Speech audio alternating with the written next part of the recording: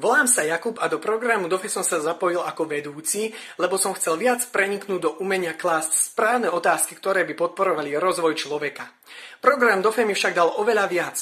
Preto ak sa aj ty chceš naučiť používať mentoringový prístup v praxi, rozvíjať svoje manažérske zručnosti, neváhaj a prihlás sa do programu DOFE ako vedúci tiež.